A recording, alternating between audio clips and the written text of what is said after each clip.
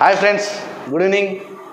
అది జనరల్గా నేను వీడియోలు అంటే నాకు కొంచెం మంచిగా అనిపించదు. అందుకే ఒక చిన్న విషయం తీన్మార్ మల్లన్న గారి గురించి చెప్పడానికి వచ్చిన.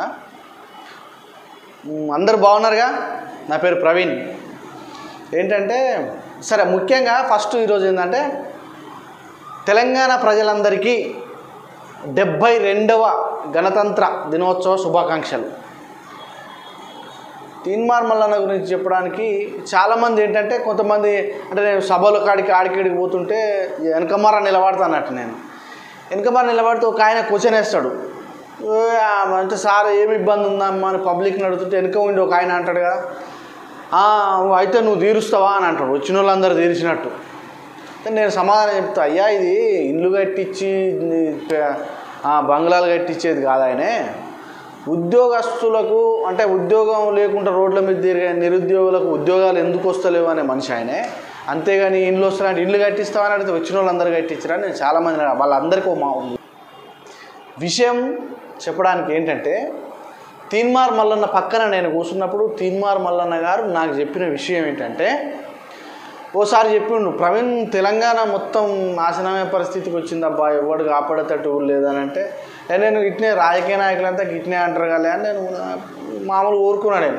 సరే కానీ పెద్ద ఆయన కాబట్టి మనం అట్టెట్ట సార్ ఇట్టెట్ట సార్ అని అడుగుతాను కూడా నేను అడగలేను. మళ్ళీ ఒక నాలుగైదు రోజుల తర్వాత ఒక్కడే కూర్చుండు బాగా ఆలోచిస్తుండు. నేను సరే ఏమన్నా ప్రాబ్లమా మరి? ఏంటోలే వాళ్ళ ఆలోచనలు వాళ్ళకు ఉంటాయి కానీ నేను సైలెంట్గా అయిపోయాను. సీరియస్గా అవునా? ప్రవీణ్ తెలంగాణ పని అయిపోయిందబ్బా ఇక. ఈ కేసీఆర్ ఉన్న రోజులు మన వాళ్ళంతా ఆగం ఇవ్వనికి ఏం రావు. ఈ ఉద్యోగాలు రాక ఒక్కడొక్కడు ఏంది రోడ్ల మీద పరిస్థితి? అమ్మ మొత్తం ఆగమైందా. ఇంకో నాలుగు రోజులు అయితే ఎవడు బాగు చేస్తానికి వచ్చే అంత కూడా ఉండదు. అంత ఖరాబ్ అవుతుంది తెలంగాణ మొత్తం అయిపోయిందంటే నాకు అప్పుడు అనిపించింది అబ్బా సార్ బాగానే తెలంగాణ గురించి అంటే మామూలుగా జనరల్గా పబ్లిక్ గురించి ఆలోచనలనే ఉన్నాడని నేను కూడా అనుకున్నాను పోతే వాళ్ళ కుటుంబం గురించి కూడా చూద్దాం. మరి వీళ్ళంతా ఎట్లా జనరల్గా ఇంట్లో భర్త చేస్తా అంటే భార్యో అమ్మో అన్నో తమ్ముడో ఉండి ఏ గన్ని పైసలు ఎట్లా ఖర్చు పెడతావు? పైసలు ఖర్చు పెట్టదు బయటికి పోడేందుకు నీకు వచ్చే నౌకరు చాలదా నెలకు నీకు లక్ష యాభై వేలు వస్తాయిగా రెండు లక్షలు వస్తాయిగా జనరల్గా అంటుంటారు. అయితే నేను అట్నే అనుకొని ఒకసారి సరే దాన్ని అక్కడికి వదిలేసిన. సార్ వాళ్ళ పెద్దన్నయ్య నేను అర్జెంటుగా కొత్తగూడెం భద్రాచలం వెళ్ళవలసి వెళ్ళవలసి వచ్చింది. వెళ్తున్నాం. బయ పోతుంటే ఇంకా భద్రాచలం ఇంకొక ఇరవై ఐదు ముప్పై కిలోమీటర్లు సమ్ అటు ఇటుగా ఉంది. రాత్రి పదున్నర అవుతుంది ఆల్రెడీ రోడ్ వేసేటోళ్ళు ఈ రైల్వే వాళ్ళతోని తీసుకొని రోడ్డు వాళ్ళకి పర్మిషన్ ఇట్లా తీసుకొని ఒక ఐదు రోజులు బంద్ చేయాలి. మేము రోడ్ వేస్తామని పర్మిషన్ తీసుకొని రోడ్ వేస్తున్నాడని రాత్రి పదిన్నర అవుతుంది అప్పుడు నేను ఉండి సార్ ఇట్లా సంగతి మేము అర్జెంటుగా వెళ్ళాలంటే తీసేటట్టు ఉన్నారు వాళ్ళు. తీస్తారు కూడా. సరే అర్జెంట్ అంటే తీస్తారు. ఆల్రెడీ ఒక సైడ్ రోడ్ వేస్తలేరుగా. వేస్తాను పర్మిషన్ తీసుకురావడం బంద్ చేసారు మా మా సార్ వాళ్ళ అన్నయ్య పోయి ఫోన్ లైట్ పెట్టి ఇట్లా క్వాలిటీ చూస్తుండేది రోడ్ ఎట్ ఎట్లా చూస్తుండేది సంగతి? ఇట్లా చూస్తే అది క్వాలిటీ లేదు. కంకర్లో డాంబర్ కలవాలి డాంబర్లో కంకర కలవాలి. ఇట్లనే ఉంది. ఒక్కటే ఇంచ్ చేస్తుండారు రోడ్డు నేను ఏ అట్టెట్టేస్తారు అని వాళ్ళని చేస్తారు అట్టెట్టేస్తారా మీకు మీ కాంటాక్ట్ ఏంది మీది ఏంది మీకు అనేది అని అడుగుతుండే. ఇవ్వాల్సిన రూల్ అది ఇది అని అడుగుతుంటే నేను దగ్గరికి పోయినా. సార్ మీరు ఏమో సపోర్ట్ చేయకూరు వాడు అటు ఇటు అంటే మళ్ళీ గేట్ కూడా తీయడు.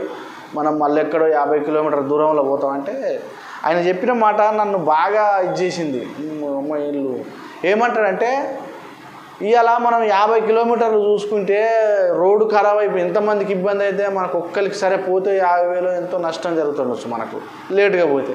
లేకపోతే పని ఖరాబ్ అవుతుండొచ్చు అంతేగాని మనం చూసి కూడా ఎట్టుకుంటాం నాకైతే నిద్ర పట్టదబ్బా ప్రవీణ్ అంటాడు ఆయన. అమ్మ వీళ్ళంతతో వీళ్ళు అందరితోని వీళ్ళకి ఈ పబ్లిక్ ఇది ఒకటి ఉన్నట్టుంది అనుకొని నేను కూడా అనుకున్నాను సరే అని పోయినాం. ఆడికి పోతుంటే కార్లో ఒక పది సార్లు అండు వాడు గట్లేస్తుండు అమ్మాయి రోడ్లన్నీ ఇట్టేసి అయితే పోతున్నాయి అని ఒక్కటే బాధపడుతుండు.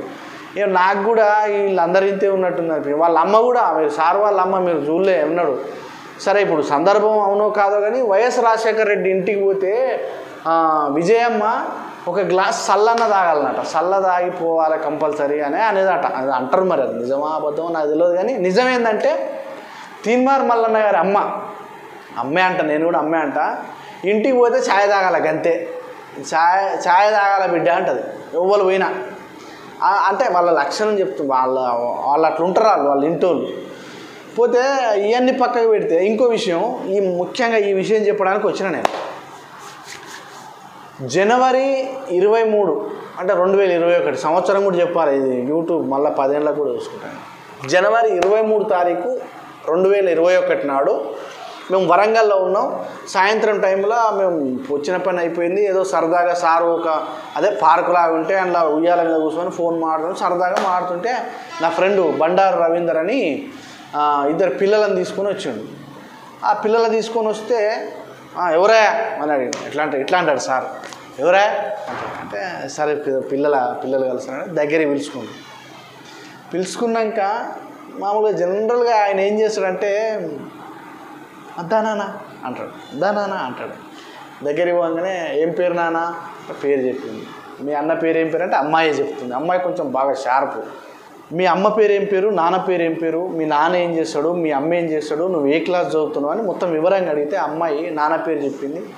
మా నాన్న మేస్త్రి పని చేస్తాడు అంకుల్ మా అమ్మ ఇండల్లో పని చేస్తుంది అంకుల్ అని చెప్పగానే ఇది ఇక్కడికి ఇట్లా పెడితే ఇదే ప్లేస్లో వేరే రాజకీయ నాయకుడు ఉంటే ఏం చెప్తాడంటే ఓహో అవునా అమ్మ? ఓకేనా మంచిగా చదువుకున్నానా? అని చెప్తాడు. ఓకే పంపించేస్తాడు. ఈ ప్లేస్లో తిన్మార్ మళ్ళా నుండి ఏమన్నాడంటే మా అమ్మ ఇళ్ళల్లో పనిచేస్తుంది మా నాన్న మేస్త్రి పని చేస్తాడంటే అయ్యో నువ్వు అయితే కింద కాదమ్మా నిలబడేది.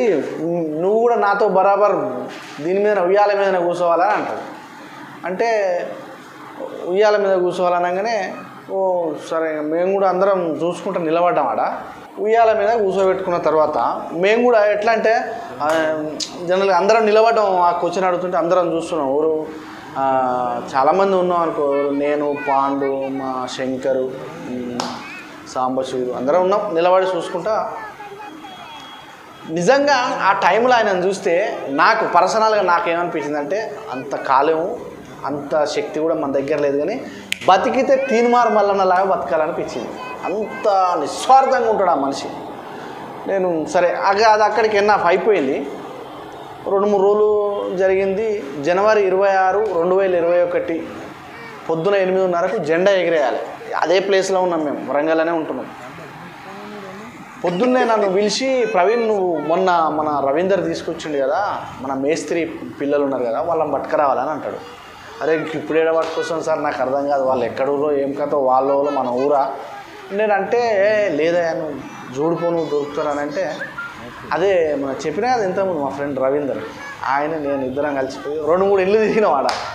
ఈ మేస్త్రి ఉంటాడు ఏడా అని రెండు మూడు ఇల్లు తిరిగినాం.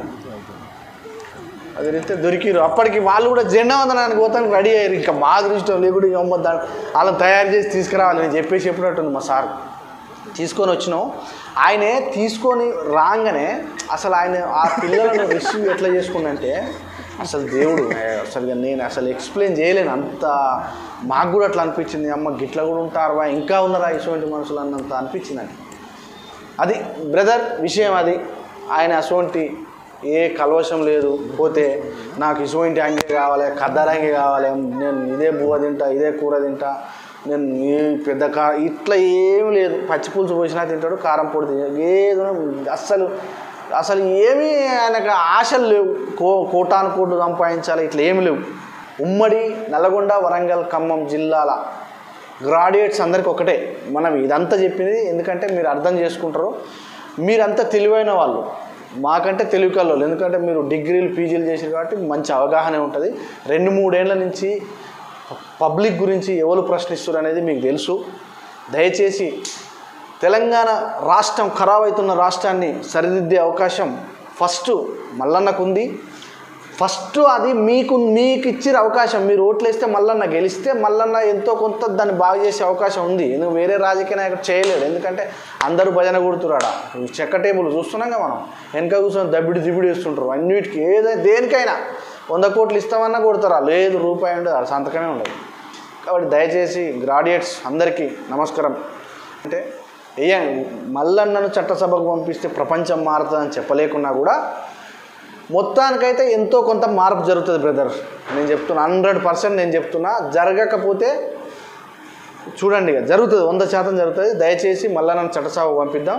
మీరు అందరూ అర్థం చేసుకొని ఓట్లేస్తారని నా మనమే నమస్కారం.